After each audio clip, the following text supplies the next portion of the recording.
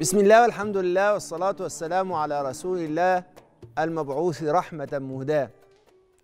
يا سادة إحنا هنتكلم النهاردة عن جليس. الجليس ده شويتين ثلاثة جليس واضح إن هو قاعد يزعجنا طول الوقت. عامل زي الج... عامل كده كابس على نفسنا. وحضرة النبي صلى الله عليه وآله وسلم قال مثل الجليس الحسن وجليس السوء كصاحب المسك ونافخ الكير. أهو ده بقى بالذات في أكتر من في أكتر الاحايين عامل زي نافخ الكير صاحب الكير. فتلاقي أوقات كتيرة بيحرق هدومنا وبيحرق بيوتنا وأوقات كتيرة نسم نشم ريحة في ال في ال في ال في الجليس ده ريحة مش حلوة. أنت بتتكلم عن حد يعني لا يتطهر؟ لا إحنا بنتكلم عن حالة كده بتحصل لنا. لما حصل ودخلت السوشيال ميديا في حياتنا كتير من الناس استبشروا. كتير من الناس قالوا الحمد لله هنقرب من بعض. بس ما كانوش فاكرين إن إن اللي هيحصل هيكون صعب قوي قوي حصلت ظاهرة كده مع السوشيال ميديا إن بقى في حاجة اسمها هوجة. فالهوجة دي تعمل حاجة اسمها الترند. آه تحصل هوجة كده فيبقى في ترند.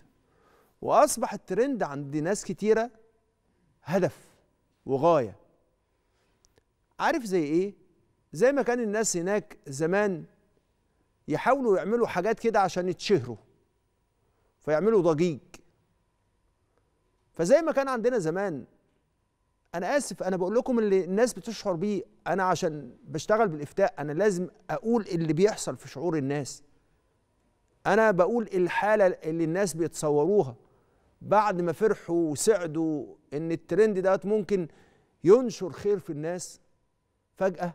بقى الترند في أكتر الأوقات وفي أوقات كتيرة بيقوم بنفس الدور اللي كانت بتقوم بيه الصحافة الصفراء فيما سبق عندما كانت الصحافة ما زالت تمارس دورها الكبير. فللأسف أي حد ممكن ينجرف تحت عجلة الترند وما ياخدش باله ما ياخدش باله من الوصايا المهمة اللي جت في القرآن الكريم وفي السنة المطهرة علشان تحمينا وتحذرنا إننا نعوم مع الترند. عارف نعوم مع الترند يعني إيه عشان ما نقعش في الوحلة. وعشان قلوبنا طوبها ما يتحرقش. وعشان ما نتوجعش. وعشان ما نتلوث. الترند يا سادة في ناس كتيرة في بقى عندنا مصطلح شوية. أنا لازم أتكلم عن الواقع مش هتكلم عن حاجة. بقى عندنا مصطلح إن فلان بيركب الترند. بيركب الترند يعني إيه؟ بيمشي من غير ما يتثبت. وسرعة الترند وانتشاره راجعة من حاجة مهمة جدا جدا عدم التثبت. مش القيمة اللي موجودة في الترند والدليل على ذلك إن إحنا لما نيجي نعمل دراسات وأنا بتكلم دلوقتي عن انطباع مش بتكلم دلوقتي عن دراسة. أنا في, في, في, في أنا دايما بقول كده ان المشتغل بالشريعة والمشتغل بالدين إذا ما كانش بيمارس البحث الاجتماعي هو مش جدير إن هو يكون في هذا المكان. فأنا بدراستي وبحثي عملت نسبة كده ودراسة كده فيما يتعلق بالترندات وكم الترندات الإيجابية اللي حصلت في حياتنا وكم الترندات غير الإيجابية في حياتنا. لقيت نسبة الترندات غير الإيجابية ممكن توصل من بين 75% ل 80% و20% ترندات ممكن تكون إيجابية. طب إيه اللي حصل؟ إيه اللي حصل؟ إيه اللي بيخلي الترندات غير الإيجابية تنتشر بكل هذا الانتشار؟ حاجة مهمة جدا. عدم التوثق. اللي هو إيه؟ فاكرين حديث رسول الله صلى الله عليه وسلم؟ إني الاناه من الله والعجله من الشيطان. الترند بيعمل كده. الترند بيمشي على العجلة. فيحصل ندم. ولذلك تعالوا نرجع لقوله تعالى. وإحنا بنسمعه. الله سبحانه وتعالى يقول يا أيها الذين آمنوا إن جاءكم فاسق بنبأ فتبينوا أن تصيبوا قوما بجهالة فتصبحوا على ما فعلتم نادمين. بس هينفع بيه الندم بعد ما يكون واحد؟ فاكرين زمان لما كان واحد نفضل نقول عليه ونفضل نقول عليه ونتكلم في سمعته وبعدين يجي له براءة فيطلع براءة؟ فما حدش يسمع إن هو جات له براءة. ياما حصل كده. عارفين ليه ربنا سبحانه وتعالى قال تصبحوا نادمين؟ ها؟ مش بس علشان ممكن نكون ظلمنا حد أو لم نتحقق من خبر وإنما عشان كمان ممكن والعياذ بالله يكون سبب في البعد عن رحمة ربنا سبحانه وتعالى. ربنا ذكر في القرآن الكريم إن أحد الأمور اللي بتسبب دخول بعض الناس الجنة إن هم وكنا نخوض مع الخائضين. آه يعني كنا بنتكلم مع الناس بنتكلم مع الناس وخلاص من غير ما نتثبت. ما هو ده معنى إن إحنا بنخوض مع الخائضين ونتس... و... و... ونخوض معهم بلا تثبت ولا دراية. علشان كده حضرة النبي صلى الله عليه وسلم كان دايما يحذرنا ويقول لنا ويحاول يحمينا من أن نخوض مع الخائضين. فيوصينا صلى الله عليه وسلم لا يكن أحدكم امعه يقول أنا مع الناس أنا مع الترند أنا مع الناس إن أحسن الناس أحسنت وإن أساءوا أسأت. شوف حضره النبي بيقول لنا إيه؟ شوف الحكمة.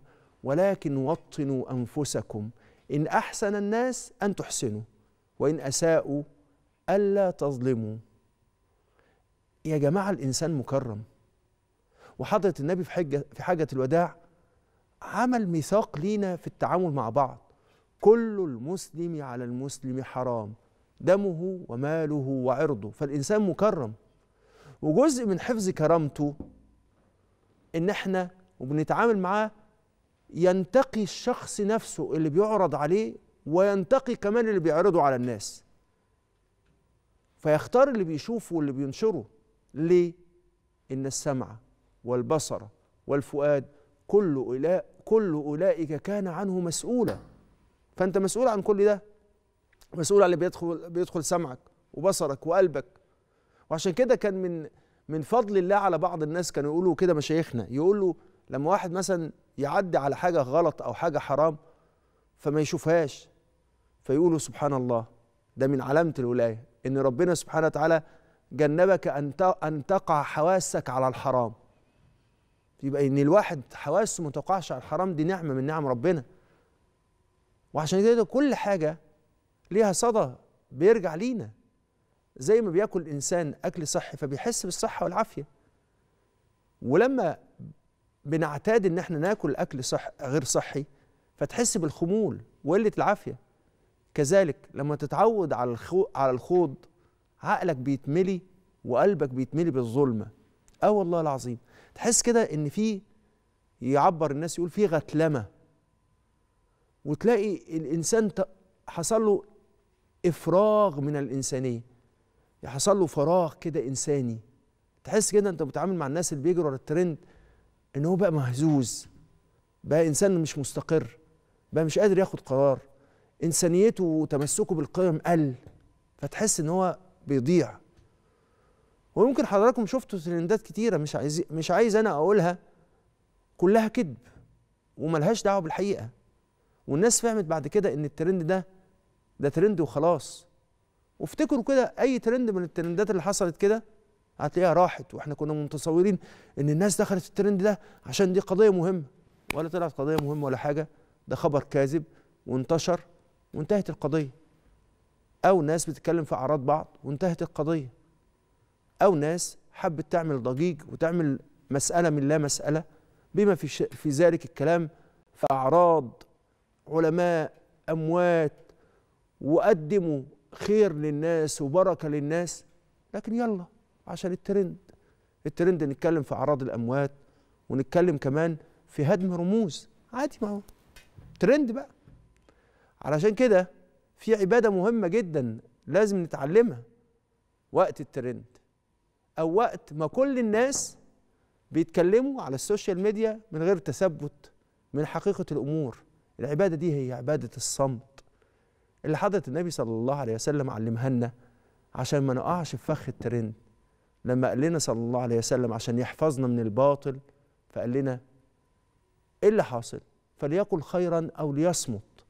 أو قال من صمت نجا. وكان من أبرع صحابة رسول الله صلى الله عليه وسلم اللي كانوا بيطبقوا الصمت ده سيدنا أبو بكر. من كان يؤمن بالله واليوم الآخر فماذا؟ فليقل خيرا أو ليصمت. سيدنا أبو بكر كان عبقري في ده. وسيدنا أبو بكر على فكرة أقرب الناس لرسول الله فكان ممكن يتكلم كتير على فكرة. بس اختار الصمت. الصمت ليه؟ لأنكم إذا رأيتم الرجل يطيل الصمت فاعلموا أنه يلقن الحكمة. وما يؤتى الحكمة فقد أوتي خيرا كثيرا. يبقى إيه اللي حاصل؟ يبقى في ناس كتيرة إيه اللي حاصل؟ تجدهم بيتكلموا كلام قليل بس لما يتكلموه الناس كلها تستفيد. في ناس بقى ما بتعرفش تصمت مش بتقدر. والله يا جماعة أنا بحس إن هم مدمن أدمن أدمن خلاص مش قادر يسكت مش قادر يمسك لسانه مش عارف يوقف الشير. ومش قادر يكبت ال ال ال الكومنتاية اللي داخلة في قلبه وشداه من قلبه إن هو وإيده بتاكله. إيده مش قادر يمسك إيده. دول عايز أوصيهم. أمسك عليك لسانك. لأن حضرة النبي صلى الله أمسك عليك أمسك عليك لسانك. مش لازم لسانك بس. أمسك أمسك الشير وامسك كمان التعليقات اللي ملهاش لازمة. لاني عشان الله سبحانه وتعالى قال ما يلفظ من قول إلا لديه رقيب عتيد. وحضرة النبي قال لمين؟ فاكرين حديث المسلسل بالمحبة؟ إني لا أحبك يا معاذ. فلا تدع في دبر كل صلاة أن تقول اللهم أعني على ذكرك وشكرك وحسن عبادتك. قال بقى حضرة النبي لسيدنا معاذ قال له إيه؟ وهل يكب الناس؟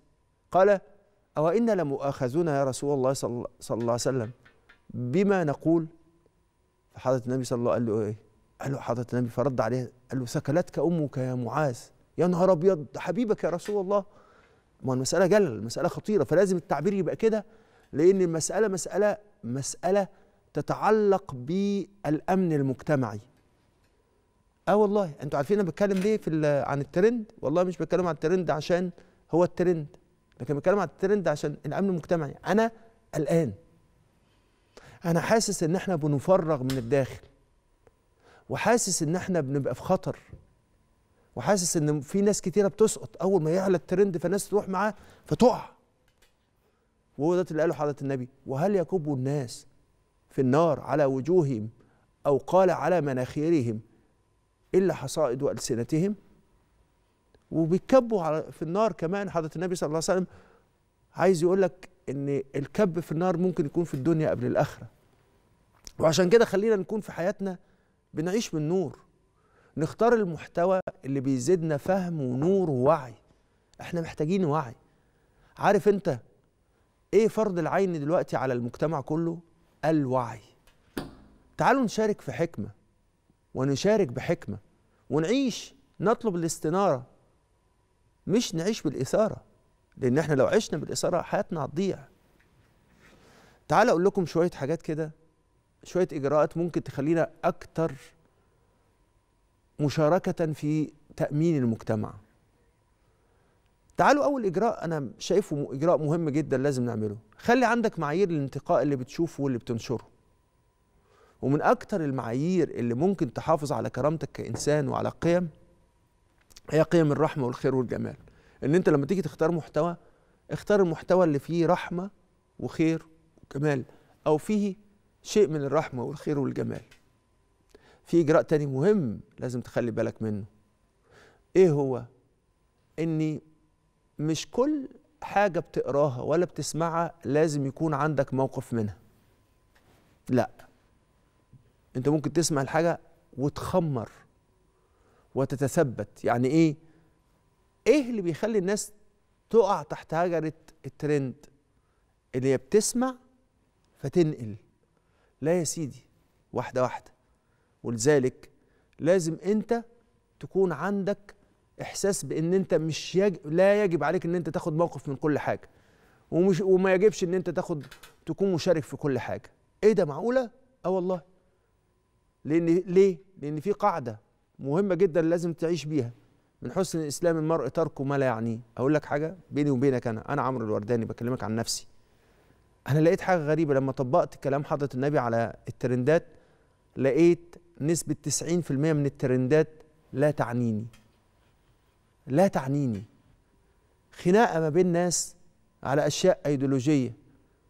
واحد قاعد يتخانق على تعالوا يا جماعة نتخانق على مين الصواب في مسألة كذا كذا كذا كذا. وأنا عندي قناعة مبنية على أدلة. فأنا عايش. إيه بتجرني في الخناقة دي ليه؟ يعني أنت عشان تكبر تهزي عقيدتي وتعزي ديني. لا يا سيدي أنا مش عايز أشترك في ده. أو تعالوا نتخانق على حد مش هنقدر نحاسبه لأنه توفى الله يرحمه ولأنه خدم ناس كتيرة وهدى ناس كتير. أشترك أنا ليه؟ أو تعالوا يا جماعة نتكلم والله في حاجات تتعلق بعلاقات مش مناسبة ما بين الناس أو أخبار عن ناس مليانة فضايح وأنا مالي؟ كل ده على فكرة لا يعنيني. انت بتعمل ده كله ليه؟ يعني لو سألتك إيه العائد من كل الترندات اللي أنت بتتكلم فيها دي؟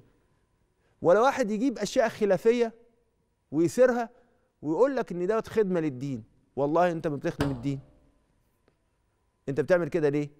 بتعمل الكلام دوت عشان تهيج الناس على بعض. فالناس تيجي ترد عليك وأنت تدخل ترد عليهم فيبقى الترند يتسع. أو تجيب حاجات من الغرائب. أنا عايز أقول لكم حاجة توقفوا عن متابعة الغرائب.